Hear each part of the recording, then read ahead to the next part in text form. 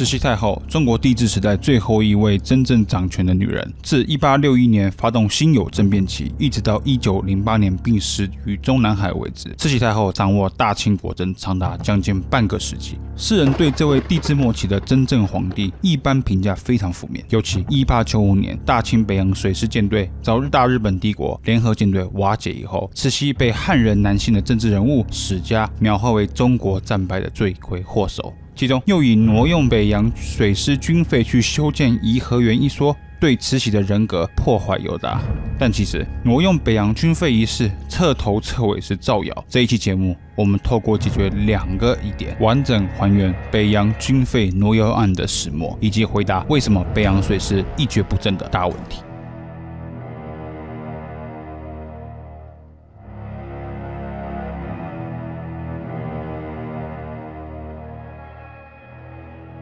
针对第一个问题，我们必须从戊戌政变开始说起。一八八九年，清廷宣布十八岁的光绪皇帝正式亲政。一八九五年，曾经傲视亚洲的北洋水师舰队几乎被日本联合舰队歼灭。一八九八年，光绪帝下令实行变法，是为戊戌变法。这是一场以康有为、梁启超等低官阶的汉人士大夫为核心的维新运动，但不到百日内，该变法即被喊停，慈禧再度归政，六位维新党人遭斩首，领袖康有为、梁启超逃到国外，年轻的光绪皇帝被软禁于中南海。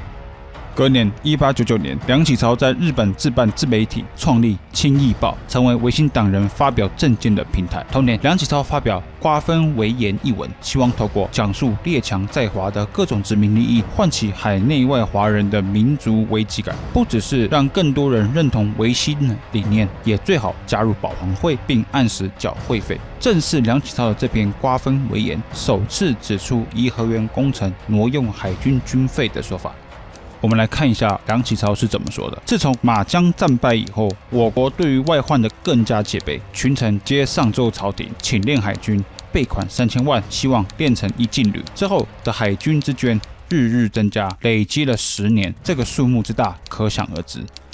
旁观的人会说，国家花费这么多的钱，费了这么多心思经营海军，一旦与外国发生冲突，一定可以打胜仗吧？然而甲午之役时，两军还没有交战，北洋水师就已经覆灭，拱手让给敌人。论者将罪过放到丁汝昌、李鸿章头上，李丁绝不是无罪的，但他们没法承担。败亡的全数责任。当年海军福建时，不到两年的时间，颐和园工程就大起，将海军筹备到的款尽数用来修园子。此后，名为海军捐的款项，其实应该称作颐和园工程捐。我曾经逛颐和园，见到其门上内外皆张贴海军衙门的告示，同游的人觉得很惊讶，说这园子不是内务府管的吗？跟海军有啥关系？他们不知道颐和园经费是来自于海军。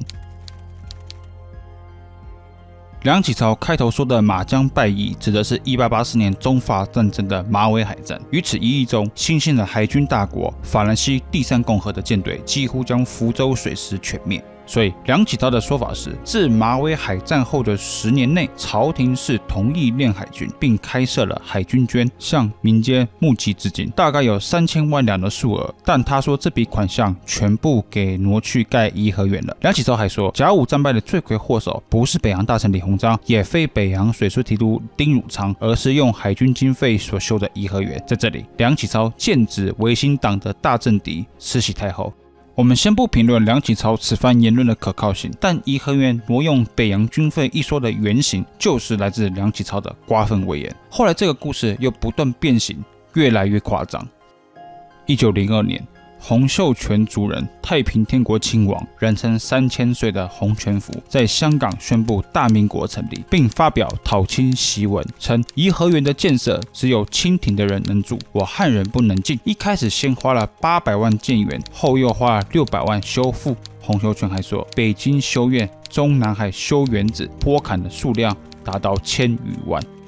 隔年，于一九零三年，一年轻的四川青年周荣所做的反满册子，革命军风行海内外。其中一段是这样说的：“试问巍巍高大的颐和园期间的一瓦一粒，哪一个不是搜刮汉人的民脂民膏？就为了让一卖淫妇叶赫那拉氏开心？秦朝无道，建阿房宫。”后人仍称其不仁，那圆明园、颐和园又是更加不仁。我同胞不敢说满洲朝廷做过的恶事，由此可见满洲政府是如何专制了。在这里，周荣直接用卖淫妇这样的字眼攻击慈禧，并将为了慈禧所修的颐和园与秦始皇的阿房宫这样的负面历史印象联系起来。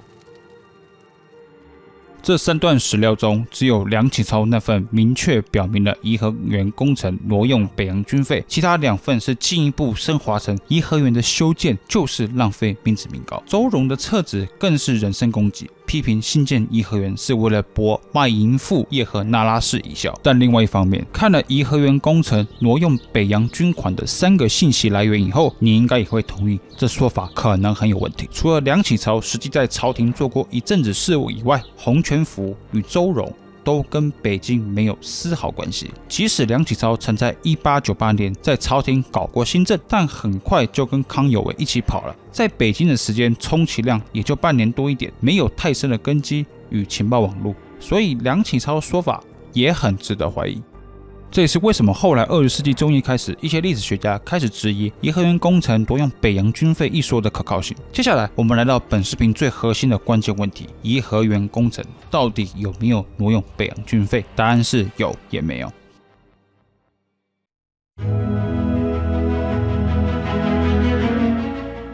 首先，我们得先了解一下北洋水师的经费是怎么构成的。经费主要分两部分，一是海军衙门经费，二是海防专款，或称水师经费。衙门经费指的是海军衙门的办公经费，海防专款才是用于支持舰队的资金，用来买战舰、武器、设备等等。两笔经费是平行的，而颐和园修建工程所挪用的是衙门经费，而非海防专款。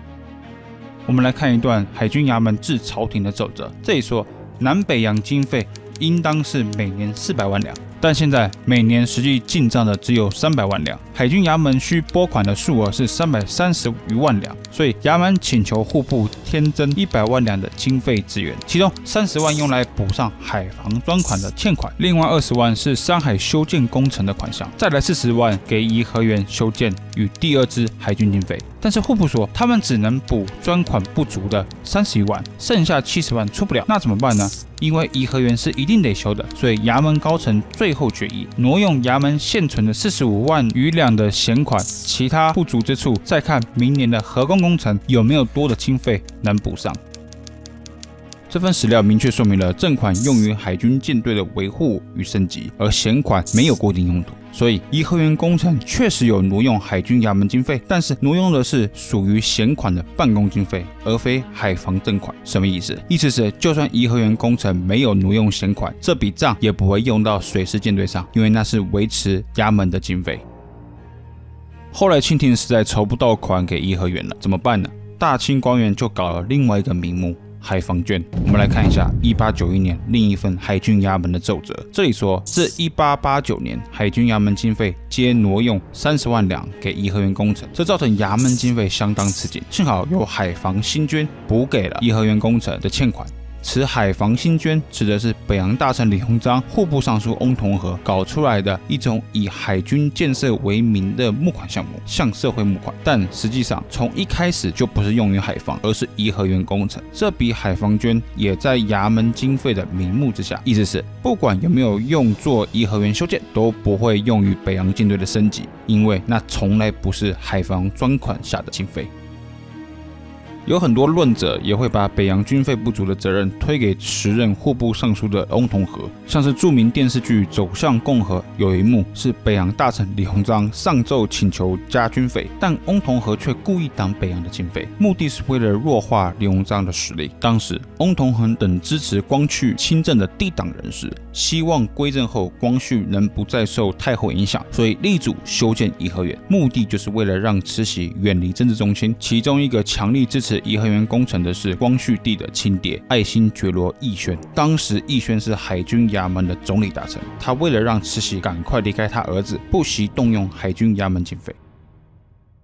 然而，当北洋军费一举，实在对翁同龢等人而言，实在有损无利。当时，翁同龢不只是清帝国财政的大管家，他还是军机处大臣，可说是位高权重。如果大清舰队能对外取胜的话，对他来说只有好处没有坏处，但输的话却是有损无益。事实上，说翁同和挡北洋军费一谣言，最早出自胡适进的《国文备陈》一书。胡适进说，甲午战争末期，日军逼近山海关。慈禧大恐，让翁同龢召李鸿章来问策。翁同龢见了李鸿章，就开始问北洋兵舰，但李鸿章对其怒目相视，然后掉头说道：“您走理财政，平时北洋请款都给您驳回，现在有事了才来问兵舰，你觉得这样的兵舰可是吗？”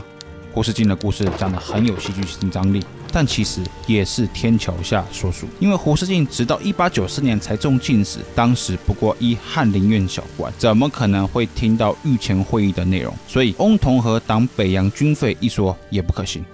那么，到底为什么北洋会缺军费呢？关键原因根本不在于慈禧或颐和园工程或户部，而是清帝国没能有效建立起一财政集中、能维持长期信贷的财政体制。什么意思？我们现在了解一下甲午海战前后日本的军费支出，已经达到日本政府预算的十到十五 percent 的规模。相反，十九世纪下半叶的大清军费每年比例约莫就四到十个 percent。虽然从绝对数字来看，中日的军费可能没有差距太大，但实际上日本支出的军费远高于此。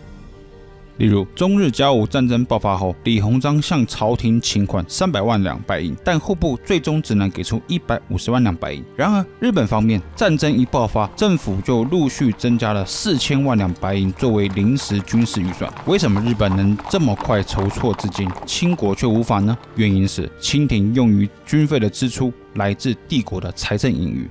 而不是像日本那样由政府和国家银行背书，在国内外发行军事公债，向四方借钱。如果清廷的财政盈余充沛，那么没问题，海军有机会得到稳定的资本投入。但如果户部盈余所剩无几了，自然也就没钱能继续投入了。日本更像是现代式国家的财政体系，透过信用扩张增加可调度经费。但为什么清廷不像日本一样搞中央银行呢？原因在于大清财政体制其实是分散型管理，这种管理模式的特点是没有法币制度，也就是像银票、铜钞之类的纸票。没有得到国家的承认，所以十九世纪下半叶的大部分时间内，中国仍行的是银铜双本位制度。各地征收来的农业税、商业税、礼金等等，仍由具有商品属性的银铜进行换算，这使得财政集中制度无法成型。因为所有的税收盈余只有一部分会解到中央，其余的依然在地方政府的藩库。虽然清政府确实在一八五零年代的十年间内实验过纸钞制度。但最终，由于太平天国的内乱全面蔓延到清帝国的核心江南地区，使得帝国发行的纸钞变得毫无信用可言，这在当时造成一定程度的财政混乱。这个不好的经验使得清廷一直对改行纸钞有所疑虑。虽然19世纪以来日本也有政治动乱，但规模不可与中国同日而语，所以日本的金融政治秩序相对而言是比较稳定的，这给予财政集中管理制的发展提供较为友善的社会条件。但这个财政体制的问题，直接造成了北洋水师经费一直处于不足的状态之中。即使地党人士不力主修颐和园，也弥补不了中日海军经费越来越大的差距。一八九四年之前，北洋水师已建立了将近二十年，但是每年的海防专款四百万两白银，实际上年年欠费，平均只能收到一百万两。颐和园的工程费约莫五百到六百万两，就算不盖。顶多补五到六年的海防欠款，但跟日本投入的资金实在不成比例。慈禧与颐和园乃至翁同龢被黑化为甲午战败的主因，是因为政治斗争的原因。而后来的国民党和共产党为了合法化革命的正当性，继续沿用这个解释。但实际上，北洋海军不如日本，远不是换一个慈禧太后、少盖一座颐和园就能解决的。造成中日实力鸿沟的底层原因是制度，而不是人。